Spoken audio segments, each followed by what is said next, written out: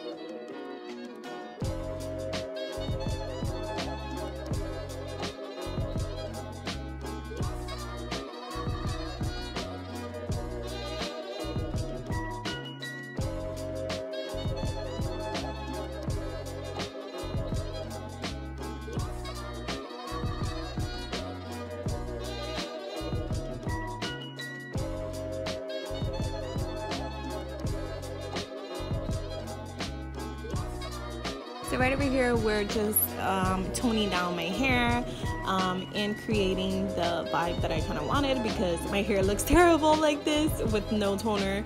But um, I can't wait for you guys to see the end result. Oh God, I was so hyped this whole visit because I was like, I feel brand new. I kid you not, guys, I felt so ratchet because my hair looked like I dyed it myself because it was starting to grow out a lot and here you can actually see my natural hair texture. My hair is really really curly but of course i over process my hair. So at the end parts of my hair my hair doesn't get that curly but i've been really trying to work on that on getting my curly hair pattern back. Um, so i've been cutting back on straightening my hair um, and you know really focusing on taking care of my hair is something that back then wasn't really important for me. Um, like I didn't think that blow drying my hair. Of course, I knew that it was damaging, but not that much. Honestly, I always find an excuse to do my hair, and now I only blow dry my hair whenever I have special occasions, or if I really have to film and then the outfit doesn't go with my curly hair.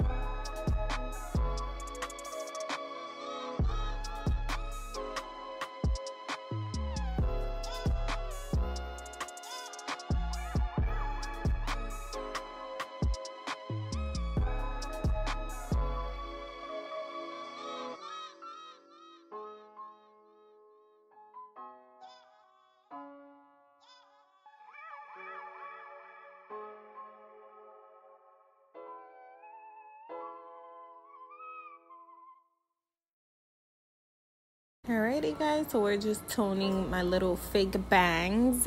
Um, I've developed these bangs, I don't know how. Honestly, I feel like from heat damage, my hair just started breaking off. Um, it was actually really short, like about seven months ago, so I actually grew out a lot. Like it looked terrible. It looked like I had fake bangs, but now they're a little bit adulting. They're grown out um, which I'm happy because I hated my little broken hairs in the front.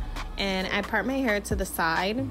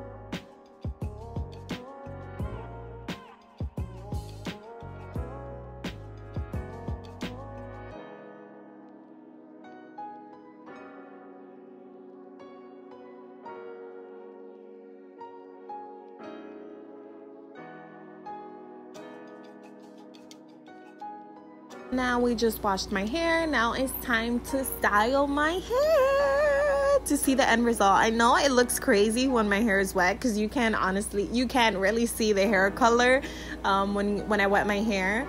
Um, just because it's not like my whole head is dyed. It's only certain strands of my hair. So right over here she's just blow drying my hair. She's the best. She's so nice her hair is so fire. Like I wish I had the audacity, well the not the audacity, but the courage to dye my hair red. Like she looks so fire.